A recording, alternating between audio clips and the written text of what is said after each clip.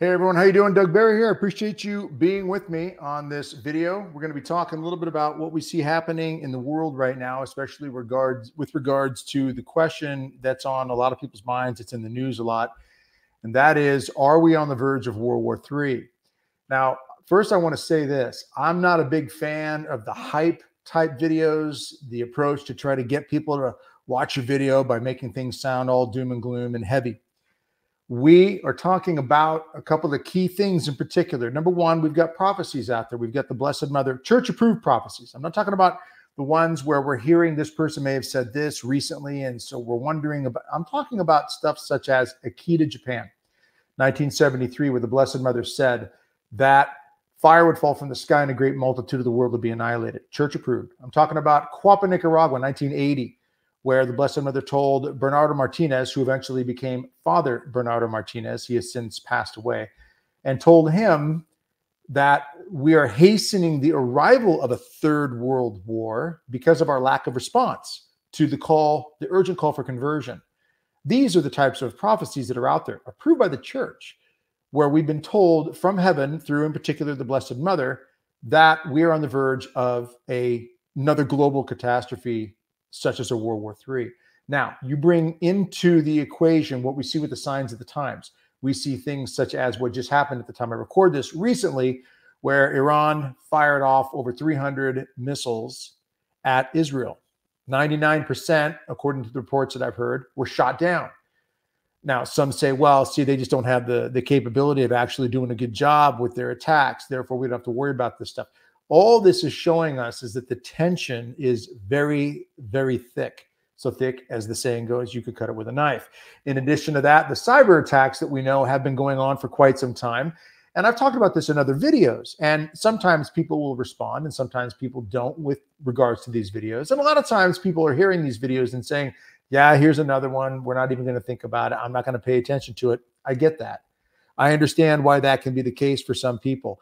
The reason I bring this up is because we can't fall asleep on this stuff. We can't sit off to the side. We've got to be thinking about a couple of key questions. Number one, are we really on the verge of World War III? Well, I don't have an answer to that. No one really does, except we see signs of the times that seem to point towards something growing in seriousness. When you've got China that sounds like they're supporting Iran in their attack, Putin, according to some reports today, the time again I record this, is sending a message to Iran saying, hey, rein this in because this conflict could explode very, very quickly and make it a very um, more, much, a much more intense, I should say, war in the Middle East and globally. Are we prepared for this? Are you and I taking the time to look at these events in light of the prophecies and ask the question, what can I do right now?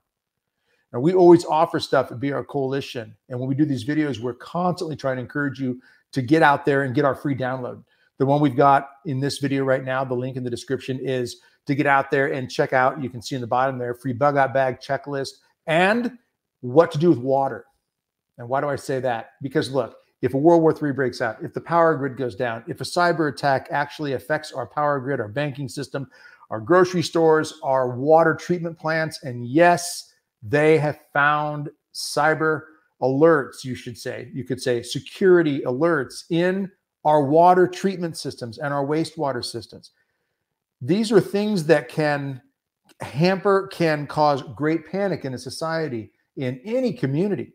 If the water goes down, if people don't have access to fresh drinking water, if if the the wastewater goes down and people can't live their days in a way that creates that kind of order, peace, hygiene, and so forth, we can't get to grocery stores to get food. We can't get medical care. We can't get lights, power, electricity, things of that nature.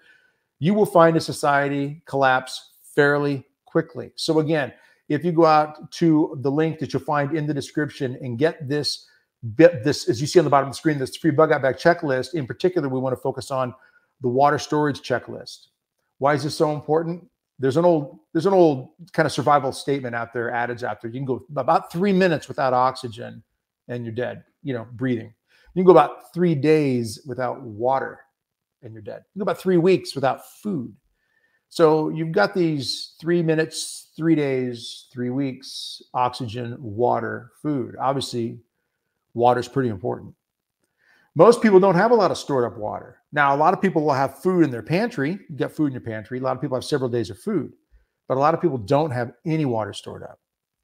I know this. I've asked this for years all over the place. And you will find regularly people say, well, you know, I didn't really take time to store up any water. I, you know, I just go to the faucet, I turn that handle, water comes out of that faucet. Well, if that doesn't happen and you look at your family, your wife, your husband, kids, and you have nothing to give them water wise, you're going to be scrambling. And it can get very, very serious, very dangerous, very desperate very quickly in a matter of days. A friend of mine who is very entrenched in government level type survival, FEMA, DHS type uh, information, told me point blank, Doug, 48 to 72 hours. Okay. If the power grid goes down, water treatment plants go down, things like that really hit hard. Give yourself 48 to 72 hours and you'll start to see a community breakdown. The things that keep communities from breaking down, that keep families from breaking down, is when there are resources coming in.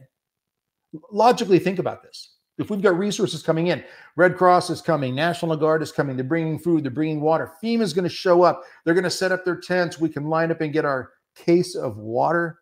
That's going to that's going to help us for a while, a little bit. It really is important that we take an attitude of self reliance, that we actually do what God intends for all of us to think about and do, and that is prepare. Now, is that in scripture? Of course it is. It's in various places. In particular, let's go back to the Old Testament, where Joseph of the Old Testament interprets Pharaoh's dream, and Pharaoh's dream says there's going to be seven years of bounty and then seven years of famine. And what does Joseph say they need to do? Well, they prepare for those seven years that they have bounty, they have food, they have all the resources. They save some up. They prepare. They take a measure of wheat and all the other infrastructure you have to imagine for the for the land of Egypt and all the surrounding provinces that benefited from what Egypt did because of what Joseph told Pharaoh to do based on what God told Joseph.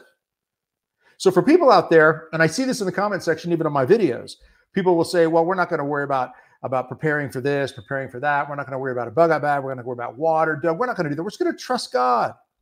And I'm not trying to be facetious here, but I would simply say, well, then trust Him right now, and don't don't worry about paying your mortgage. Don't worry about going to work. Don't worry about going to work to make money to buy food. Don't worry about you putting effort into the things that you do on a daily basis to make sure that you have food and water and shelter. You're paying for heat and electricity. You're paying for air conditioning. You're paying for all of that. You're doing that right now already. That's because you're taking the steps common sense wise. And most anybody who's thinking right would say, well, that's what God would want us to do. Well, why wouldn't He want us to do that if we're preparing for something that's more catastrophic, something more dangerous, from a natural disaster to even a war? Why would God not want us to use common sense? And when we see the writing on the wall, when we see the signs of the times, we see the things happening, going on all around us, we hear government leaders, we hear nation leaders, we hear countries like Iran launching over 300 missiles at Israel. And multiple countries were involved in shooting those missiles down. This could very easily escalate to a level where cyber warfare, cyber attack, some sort of attack physically, just like what happened in Moscow when 140 some people were killed, when just a handful, I believe it was four, terrorists went in, opened fire, and then lit the building on fire. They opened fire, shot people, and then lit the building on fire. And we're being told by federal agencies here in the United States, at least, that that could happen here too, that sort of thing. The border's been open. We've had all these problems in these areas. And so we sit here, and a lot of people will still say, ah, I'm just going to trust God. I trust God too, but I trust that God gave me common sense and He gave me this gray matter up here between these ears, and I have to use it in the right ways, not in fear and panic, not in anxiety. In fact, the more we prepare, we are far less likely to fall into anxiety. Imagine right now, power goes off, you have no water, if water treatment plants are shut down, there's no water coming out of your pipes anymore. You don't know how long it's going to be. Maybe you can't even turn on the radio, maybe there's no signal for some reason. Satellites have been compromised and we don't even have internet, whatever it might be. And you find yourself in a situation where all of a sudden you don't have access to these basic necessities. But you have food stored up. Maybe you stored up enough food for a month or two. Maybe you've got freeze dried food, dehydrated food, canned food. You've got food ready to go. Maybe you've got water stored up. You've got 50 gallons, 100 gallons. Maybe you've got water purifiers, things like, you know, I love the icon. Um, it's actually Lifesaver Icon, lifesavericon.com. Uh, you can go to our website, brcoalition.com, and get information on this on these materials. This is a water purifier. I can go to the local lake or stream or river, and I can draw water from it, run it through a purifier, something as as simple as this, and I can have water. So this item here helps me not get anxious. And some would say, well, if you trusted God, you wouldn't have that. Well, let's go back to that key point then. Do you trust God to pay your mortgage for you? Do you trust God to go to the grocery store for you? If you've got a celebration coming up, baptism, you've got a wedding coming up, you got some big event coming up, what do you do? You prepare for it. You make sure you've got food for your guests. You make sure you're taking care of all the amenities that need to be taken care of in order to accommodate those people that are coming to celebrate. None of us would sit back and say, but this is a sacrament. It's a baptism. It's a sacrament. It's a wedding. It's a marriage. We're just going to let God, it's his sacrament. We're going to let him provide everything for us. And someone would say, well, of course he provides for us, Doug. He does it through us by the grace of God, working hard, making some money, going to the store, getting what we need, hiring a caterer, whatever it might be. It's all the common sense things that we have to do. I encourage you to go out, click that link in the description. Go on out to our website, download that that you see on the bottom of the screen there, the water storage checklist. Get started with the most important basic you can have, apart from something such as safety. And I say safety because if someone's going to break into your house, someone's going to try to attack you, someone's going to try to kill you. You could be cold, you could be hungry, you could be thirsty, but the first priority is to make sure that the person trying to kill you can't kill you, doesn't succeed in that, or your loved ones. But with all things being equal, and we don't have that kind of attack, the first physical thing that we need other than oxygen to breathe, three minutes, right, is water. Water, food, shelter. We need these things. Click that link in the description, brcoalition.com forward slash water dash storage dash checklist. You see it right there at the bottom of the screen.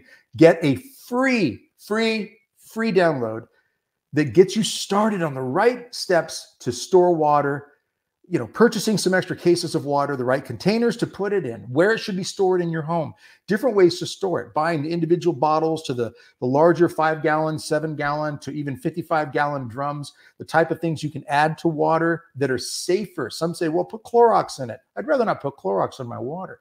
So if I'm going to store water long term, there are other things I can use that are safer and more natural. I want to know what these things are. That's what you can get from that download checklist. So go out to brcoalition.com Click on that link, go out there, get that free download.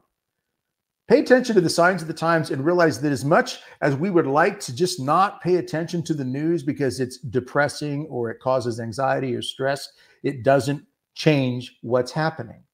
Us not being aware of it doesn't mean it isn't going on. And us having the attitude of just being optimistic. The glass is half full, speaking of water. The glass is half full, not half empty. That's an attitude that says, I'm just going to believe that Iran will not launch another attack against Israel, that Israel will not retaliate against what Iran did. I'm just going to believe that Russia is going to pull out of Ukraine and that China is not going to attack Taiwan. I just want to believe that we're not going to have another cyber attack in America or anywhere else in the country. By the way, February 21st, I believe, was the day that Change Health, which is a pardon me, which is a subsidiary of United Healthcare. Change Health, a subsidiary of United Healthcare, was hit with a cyber attack on February 21st. What it resulted in is ransomware that was uh, a ransom that was paid out through this ransomware attack of nearly $23 million, I believe, to these hackers that did this. Well, the data that was stolen is still out there floating around. It was reported in the news today that there is more going on. United Healthcare Change Health, their subsidiary, still has not recovered from this. This has affected billing. This has affected people getting their pharmacies uh, up online again and getting their, their medications that they need, some of them life saving medications. This is still going on right now from February 21st. Cyber attack against our healthcare system, one of the largest healthcare companies in the world, United Healthcare. Still dealing with it. What if that same attack were against our banks? Our power grid, against our water treatment plants, our transportation, shipping of food across the country.